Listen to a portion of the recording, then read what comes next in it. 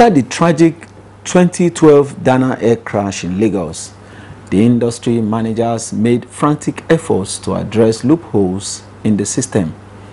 These steps ushered in some improvements, but the situation was far from perfect. Years later, the results became visible in 2016 and 2017 with no commercial scheduled service accidents recorded in the country. But the events that occurred in February this year, however, showed that things have steadily deteriorated. Three incidents last month alone drew attention to the safety in the country's aviation sector. The case where the door of a commercial airplane taxiing down the runway after landing from Lagos to Abuja fell off, throwing the passengers into panic. Another passenger airline was prevented from landing as cows strayed into the runway of the Akure airport in Ondo State. And tragedy was averted when yet another commercial aircraft flying from Abuja to Port Harcourt overshot the runway at Port Harcourt International Airport. Well, the Senate has stepped in. In addressing these looming mishaps, the lawmakers summoned the aviation minister, Hadi, um, um, Minister of State for Aviation, Hadi Sirika, his team of aviation managers to address these issues. Is there a quick fix to Nigeria's air safety challenges? and how much of these can be traced to human errors. I am Shegun Ojelade.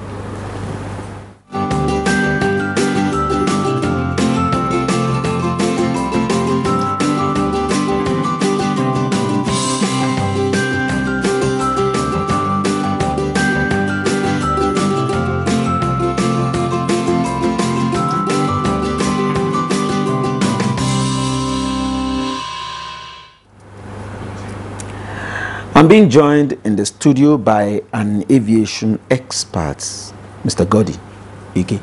I welcome you to the program. Oh, thank you very much, mm. Now, my dear issue, viewers, welcome, please. Mm, the issue we have on hand um, is aviation safety in Yes. Nigeria. From your point of view, do we have safety issues in Nigeria's aviation sector Oh, yes. today? Yes, we do. We do. As a matter of fact, it's not about today. Eh, this has gone on for so long. Uh, my first encounter with safety issues uh, was way back uh, 2010. As a matter of fact, that airplane that crashed and slaughtered about 153 people in, in Lagos, um, I happened to be on board precisely on the 14th of July 2010, nearly two years before it eventually fell off the skies. For same reason that I raised alarm, uh, with my knowledge and, and, and experience with, um, excuse me, airplanes, I, I saw something that I regarded as a taboo going on. This airline had passengers. First of all, it was a three o'clock flight. I, I, I'll have to give you these graphic details so that you will understand, you know, how far we've come sliding, you know, you know, down the, the lane. Now, uh, it was supposed to be a three o'clock flight on, on that fateful day of 14th July 2010. That's correct. And uh, uh, uh, at three o'clock, when we were supposed to board, the, the plane was on the ground, by the way, and they announced that there was a, a one hour delay, that we were going to leave by four. At four o'clock, yet another announcement came on that it would be for 5 p.m. We all sat there. At 5, no more word from anyone. Mm. At 6 o'clock, not a word from anyone. We were just sitting there like sitting dogs, you know, very helplessly. And then 7 p.m., an announcement came that we could now go on the board. And as usual, we, we all heaved sighs of uh, relief and uh, headed out to, to board. And that day we had an honorable, a serving honorable minister. As a matter of fact, I will mention his name because it's not, it's not any big deal about what, what went on because he came to me to ask why I took the steps I took that night. Uh, that was the then Foreign Affairs Minister, um, uh, Barrister Odein Ajumogobia, SAN. He was on board. Now, as soon as we all boarded, the doors were, were shut. And what did we have? 10, almost 10 minutes of the engines not coming on. And then I happened to be sitting by, by the window. And then I looked out and noticed that, you know, some technical works were going on. On the Uh, plane. uh, yes, on the engine. That was a taboo. You don't ever do anything like that when passengers were already Seated. seated because anything could happen. There could be fire. Fire could erupt, and before you, you know, evacuate the plane, a, a- a couple of people would have been burned to death. And so, that alarmed me.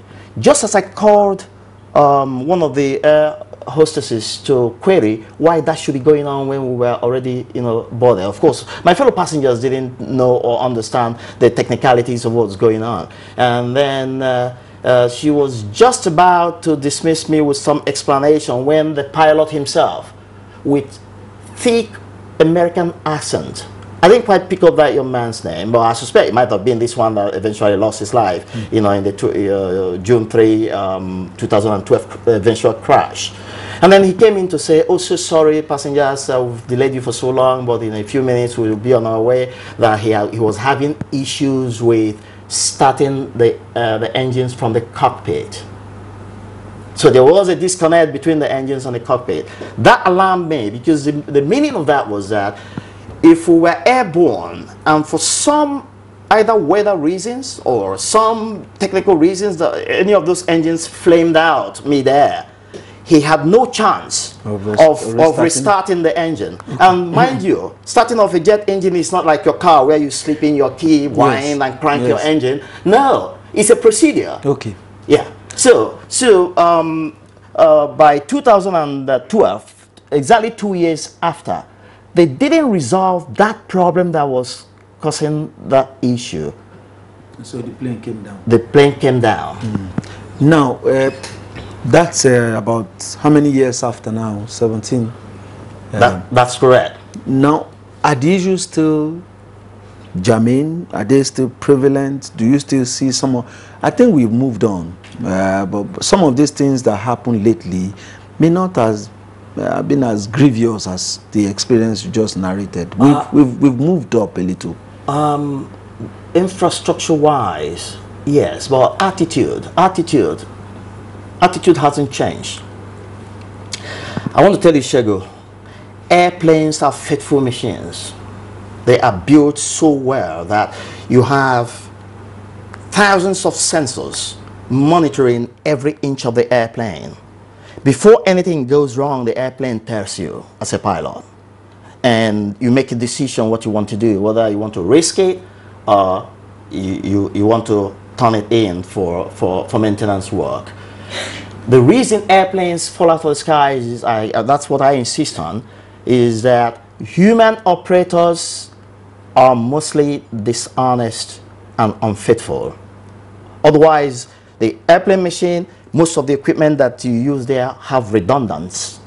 If this one goes bad, you, you quickly switch to the other and continue doing what you're doing. And if, if anything is going to go bad, the plane informs you either by a buzz or by vo voice actuator or by um, you know some you know uh, you know light yes light indicators. One way or the other, the airplane tells you what's what's going on wrong.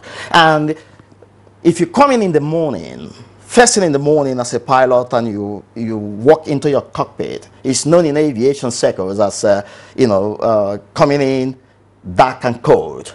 You know, in a state known as dark and cold. It's called dark because most of the modern airplanes come with glass cockpits, and when you you know shut them down, everywhere is dark. dark until you light them up again and turn it on. And of course, uh, with the morning dew and the all night, you know, cold, you, you, and the cockpit being a small compartment, you get in there, it's, it's a little chilly. So that's why it's, it's described as dark and cold. If you come in, on your roof are knobs and buttons. Those are for scanning before you even start, you know, do your startup procedure, you you, you have um, uh, an opportunity to scan Yes. front, back, left, right. Okay. If any part of that airplane has issues, the plane tells the pilot right away. There is one incident of uh, the cockpit, I mean, just, I mean, the, the, the, the door just coming off just like that while the plane was taxiing. Uh, that kind of situation uh, is unheard of in some climb. What That- must have gone that wrong? is- it, it happens only in a, in a careless environment such as ours. Um, that must have been, I, I've, I've thought through it from what I know and assessed what could happen. First of all, the, the, way, the way those doors are mounted is such that they are pulled to the inside to throw them off mm. in, in, in times of emergency. Emergency. All right. Mm. Now, what happened? Why that door stayed on until the plane touched down is that up there in the skies, the, the cabin of the airplane is usually pressurized in order to sustain human life, for because the atmospheric pressure on Earth, this place we are, that God Himself created and gave to us free of charge, that enables us to take our breath it's because of the atmospheric pressure that's existing around us. Now, as you soar into the sky, the, the atmospheric pressure thins out. It gets to a point that you don't even have any anymore. And so, in order for human beings in the cabin to survive, the cabin is pressurized to give you a semblance of the way it is here on Earth, up there so that you can relax and be comfortable and, and breathe in and out in the in a normal fashion. So that's, that's why the That's- door so closed. yeah. So uh, with that pressure, what happens is it keeps those you know those doors in place. Okay. Now, what could have happened would have been that some uh, technical individual that carried out some maintenance work didn't fix back that door properly. Wow. And so, on getting down from the skies and touching, touching the ground, there was a switch. The atmospheric pressure now out there became higher than the one inside the cabin. cabin. And what did he do? Boom! He pushed it in. It's just as, for instance, if you're up in the air with that pressurized cabin and a hole is made in any part of the plane, either one of the doors fell off or however way, Why will- it sucks you out. Why will cows be allowed on the runway? How That, do they get That that is the most irresponsible thing that's ever happened in any airport in anywhere in the world. As a matter of fact, there was a time I got so upset about not- not- noticing that that was, this happened in Abuja here, noticing that you know cows were allowed into the airport premises and you know crisscrossing the parking area and headed out to a direction that I was so sure as egg and egg that they must have crossed one of the runways to Runways. get into the uh, to get into the bush. That also alarmed me. I, I, I thought it was unacceptable. And as a God we have it on that day, I had a journalist in my company. And so when I say this, I challenge anyone that's listening and watching to go and verify. I immediately took a trip to the NCAA you know, headquarters. First of all was that the security man uh, at the gate wouldn't let me through the gate. And I, I, I- identified myself. I said, listen, I, I, I- I work with, uh, you know, on aviation issues. I have a TV show that I sponsor and anchor. And uh, it's all for the benefit of uh, Nigeria and Nigerians and all those living in Nigeria to know what they should know about aviation. It was a big argument for over 20 minutes before they let me through the, into the gate because I insisted this is a public office. You must let me in. I want to go and see the chief executive because I have something bothering you me. eventually They-? I didn't. I got in there. I got in there. I was told after they delayed me for over 20 Yes, minutes at the right. gate that he was at the airport carrying out inspections. Okay. And now I left my name, Mm. my number, and begged to be contacted. I had something very important to the organization. Okay. But up until this day, Shego, not a word from anyone. Okay. Now, uh, these uh, uh, three issues that, that occurred in, in the month of February, Yeah. we've only touched two. The door that came, I mean, that, that, that, that was It's just carelessness and then of, uh, the cow. technical individual. there is again the train trying to uh, uh, touch, uh, I mean, uh, touch the ground and then it skidded off uh, the runway. Now, the Senate has intervened, and uh, from their, this, uh, their deliberations, summoned uh, uh, the uh, Minister of State for Aviation and other stakeholders in that sector. Let's just take a, a short uh, uh, preview of uh, what transpired on the floor of the Senate at Tuesday.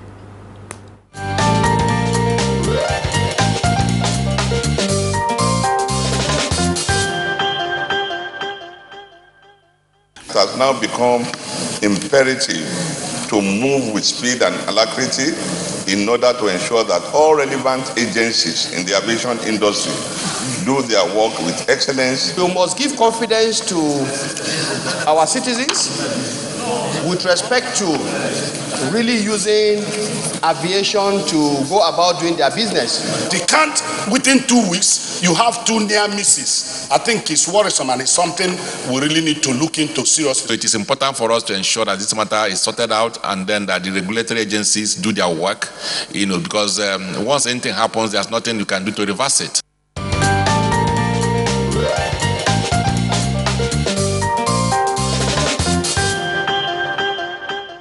Senate of the Federal Republic there intervening in the uh, safety issues in Nigeria's aviation sector.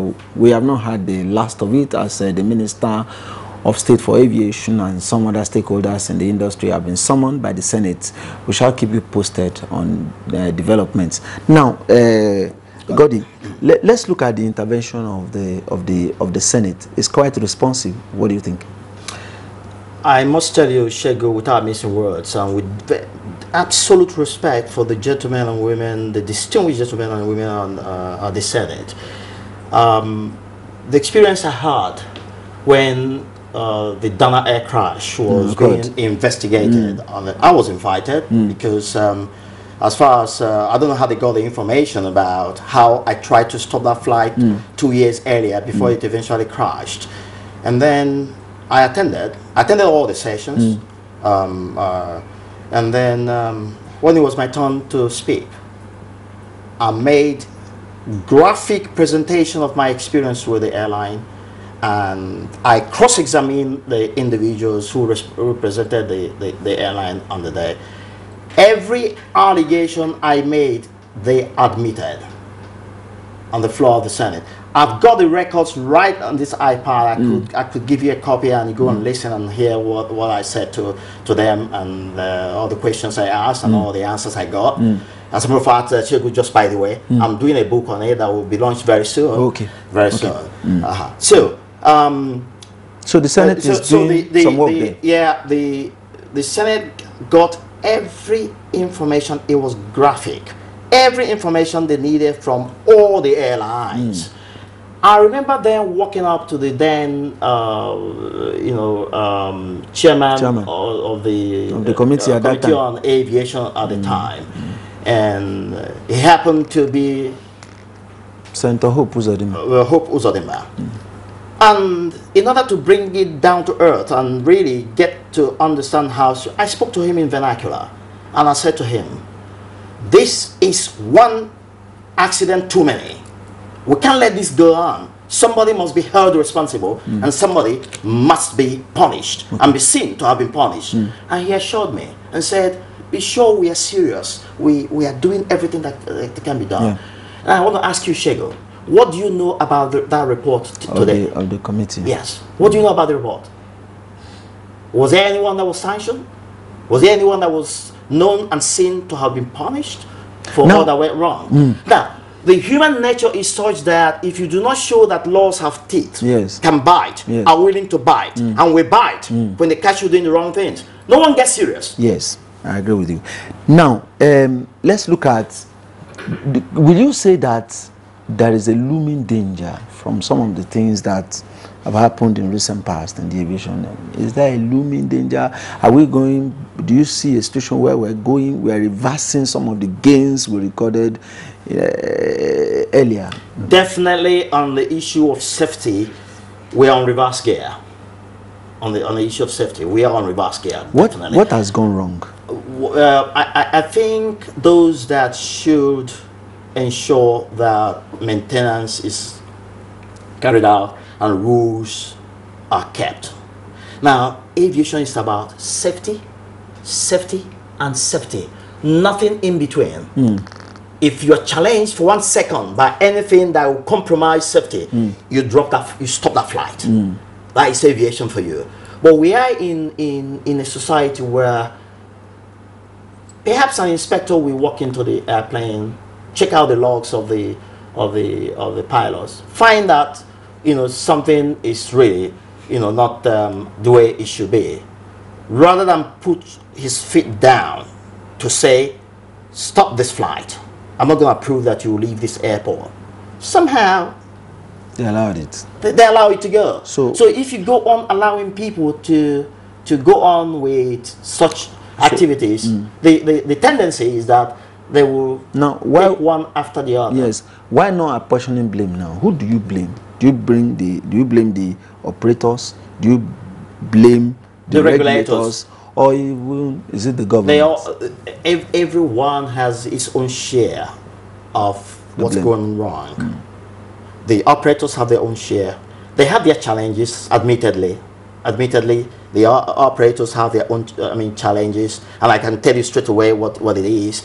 Um, the exchange rate of uh, of, of uh, naira to dollar has made it, you know, uh, very expensive to maintain the airplane. Unfortunately, we don't have the you know well-equipped hangars here to deal with some of the maintenance, uh, Maintenance uh, issues. issues. So they must be taken abroad, pay uh, money For- paid for in, in, in exchange, checks. and then uh, if you also want to match the the cost of maintenance with the you know volume of money needed to, to do all this, then you and I will not be able to To fly. to fly because it, it will mean that a trip from Abuja to Lagos might be about a hundred thousand naira one way. No. you know because of our time, Yes, yes. what must we do uh, in, in in the short term? That- what must we do to avoid this looming danger that you have, uh, you have predicted? Um, I, I have uh, severally canceled that the government must bring all these airlines together, consolidate them.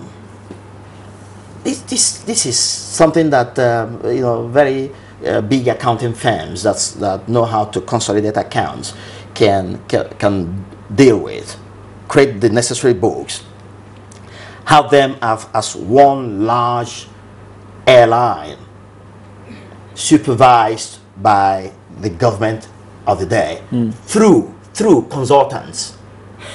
They may not just be only local consultants. They you, you can mix them up, you know, with people who have operated in other climates where discipline is a watchword, so that our own people can also learn, you know, uh, the ropes by doing things the way they are they are expected to be done internationally you know so by, by so setting up it will become um, possible for government to inject funds, Funds. into the system and then ensure that the you know there's no room for people to fritter away money like we saw in the days of uh, you know air nigeria it was one of the airlines that was uh, investigated by the Senate on the floor of the Senate. I remember that Hmm. particular fateful day when the chief executive walked in, you know, raving uh, until until he was cautioned by the chairman Hmm. Okay. of the committee. Yeah, and so um, uh, we, we had all sorts of ugly, ugly things that took place. How you know airlines were raking money, Hmm. and then some individuals will you know move the money away from yes. from the accounts of the airline for other private businesses, and then there will not be you, any money to maintain. Are blaming it on funding alone. But again there is the technical know-how. Do we have the tech, the, the requisite uh, technical knowledge to uh, maintain or run the aviation sector in nigeria? Um, so far so good. I must tell you that we have a lot of very intelligent Nigerians out there. okay. Um, wh- why I say that is that uh, if you go through the history of uh, Nigeria Airways, for instance, it used to be said that Nigeria Airways pilots were the best in the world. That was the kind of Nigeria Airways we had, and uh, it didn't stop the airline from going down. If you go to my blog, you will also be able to, to read about the rise So and fall, not the rise and fall of Nigeria Airways. So it's not only you know about about funding. Um, we must we must continue to train and retrain you know operators. in one or two sentences Yes. do you see us getting out of the situation one or two we sentences we can only get out of the situation if the government sits up, sets up an appropriate committee of serious-minded individuals, and attend to the sector Okay. and deal decisively with all the issues, issues that are at involved. stake. Okay. We, we can't handle them with kid gloves and solve the problem. Okay. We're only waiting for another slaughter, but God forbid it. God forbid it. Now, this is where we call it a date on the program Nigeria Today. We've been taking a look at safety issues in Nigeria's aviation sector. I must thank you, uh, Mr. Godi Ike, an aviation expert, for all that you've said on the program. Right, thank you. Thank you Thank very you, much. Shego. Thank you. Thank you very much. Yeah. Until we come your way with yet another edition of the program, that will be tomorrow. Do join us then. Bye bye. Again, I can still.